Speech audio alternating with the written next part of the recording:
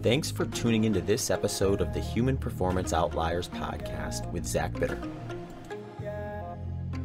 What studies have been done uh, on performance now? Looking at that, do we have? Can we can we look at numbers on different types of whether it's in just power athletes and exogenous ketones, and do we see a, do we see an actual benefit in both fat adapted and the standard high carb athlete if there's a difference? Yeah, so to answer that last part first, unfortunately, there are yet as yet no studies published. Um, I think there's one in publication, but no studies published looking at exogenous ketones in the high fat athletes. So pretty much all of the studies are done in athletes on normal Western higher carbohydrate diets. Um, and then you you could sort of divide the studies into a couple of buckets: those with esters and, and those with salts. Broadly speaking, those with salts have shown like null effect on performance. Um, which you know a lot of the performance tests that are used are quite short. Um, I'm trying. I don't think there's anything longer than 15 minutes been done with a salt and actually i'm not necessarily that surprised that they're not helping with the shorter shorter uh, duration performance. I'd expect um, them to be more effective for for longer bouts of exercise. So uh, maybe maybe four or five six studies using salts. No nothing conclusive coming out there. Um, partly maybe because of study design. And then esters um, one different there's two different types of ketone ester um, one of the types has been only been studied one time and unfortunately was really badly tolerated and all of the athletes were like nauseous and sick and all of that and so it didn't help with performance in that category um, that test that was done. The other ketone ester is the one that i worked on in my time in oxford.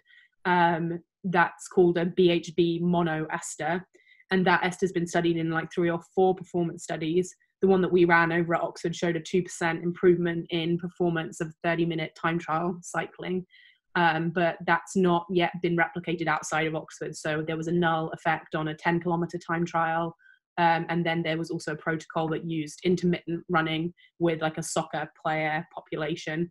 And there was um, no, no, again, no decrease in performance, but no obvious benefit to that sprint performance. So again, you know maybe maybe that would not be that surprising. One thing that was interesting that came out of that study though was that cognitive performance was preserved throughout the um, throughout the exercise test with the ketone and not with the uh, control carbohydrate condition. And so you know i kind of look at this as where really the very beginning of this field and um, performance, especially in something like a team sport, it's kind of a holistic combination of the cognitive performance and the physical endurance, but also sprint performance. There's so many different parameters that go into that that um, it's quite possible that over a game or over a season, for example, in basketball, where they're playing a number of games over the whole season in the NBA in, in very close succession, that um, maybe there'd be a, a improvement over the whole season one uh, area that again is very very early but very promising is the use of ketones post exercise for recovery.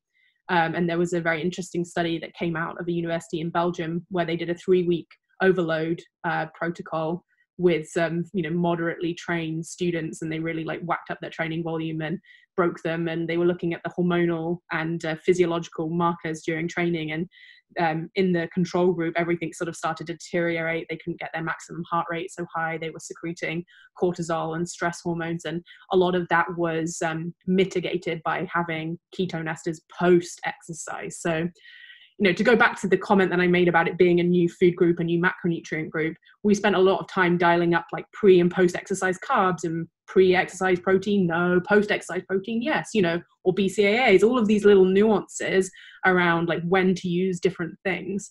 So I suspect that there will be niche roles for exogenous ketones in different sports, both pre and post exercise. Yeah, that's really interesting because I was going to ask about that, like where we were at from the recovery standpoint versus the performance standpoint. I've been uh, I've been working with uh, this company S Fuels for a, for a while now this year, and they are, they work with uh, Dr. Dan Plews, who's kind of in the, yeah. the periodized carbohydrate, uh, low carb, high fat kind of like world of research, and and I, they were mentioning that with uh, exogenous ketones, you know, the most promising spot from just something to bring to market at the point is likely in the recovery world right now in terms of being able to back it up with any significant amount of amount of research and uh, that that that makes it way more intriguing i think in the sense that when you watch some of the pro sports that have been trying to utilize that because uh, I think it, it often gets confused. Like I think the most obvious would be like the Tour de France that started, and they they oftentimes pioneer a lot of the stuff where they're trying to stay a bit ahead of the science. But like, you know, if you look at it like, oh, they're taking exogenous ketones, maybe maybe there's something to it from a performance standpoint. But for an event like that, it's more like who can recover better as much as yeah. it is who can be really great on any one day. So. Yeah. Perhaps they're not as far ahead as one would think. They're just kind of targeting what is more proven than anything else at this point?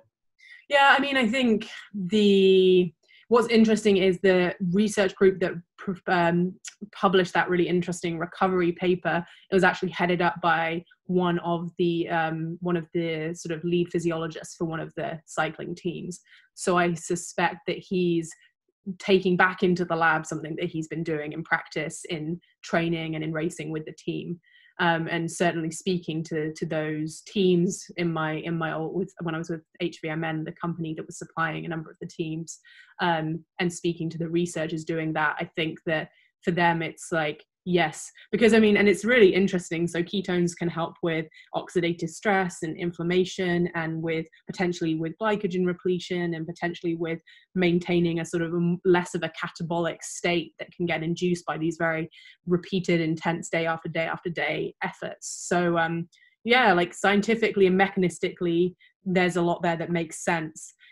You know, we are there's also a lot that makes sense with the performance stuff, but it's not been sort of especially having been an elite athlete myself, right? I think about how I thought about um, my world championship final. And, you know, the biggest pieces that went into that puzzle were the quality of the training I could do in the run up to the event, the um, the quality of the sleep and the nutrition and hydration in the days before the event, and then supplements on the day of the event. That's really, to me, it was just really small pieces you know even just the quality of my warm up and you know the I would we would do hormonal priming so like medicine ball slams to maintain our cortisol. You know we do lots of little things and so for me the value add of any one supplement on top of that would have to be it would have to be really have to feel really confident about it knowing that it would make a really big difference to to be even using that. Because by that point when you're super elite you kind of you, you put the, everything in place so that you can just go out and execute and um, as far as sport uh, performance goes in, the Olympic distance events, most of them, most evidence-based things are caffeine, nitrates, beta-alanine, creatine, um, and have I said everything? I might have missed something. Did I say nitrates, caffeine? I think so. Yeah. Yeah. There's, there's three or four, four, four or five things that are recommended and are suitably backed by evidence. Um, I think it'll take a while, and I'm not super confident that ketones would ever get to that point where it would make that list of something where it's like yeah the, all of the evidence for most people stacks up that you should always be using this. And the other kind of consideration as well is just sort of um, practicality because at the moment exogenous ketones are pretty expensive and hard to come by. Um, you know and i think for me would i spend $30 maybe if it was my world championship final but you know it's there's a bit of friction to to that and also they taste pretty bad we're working on it but they do taste pretty bad as well so it's not not necessarily the easiest thing to just implement Thanks for tuning into this episode of the Human Performance Outliers podcast with Zach Bitter.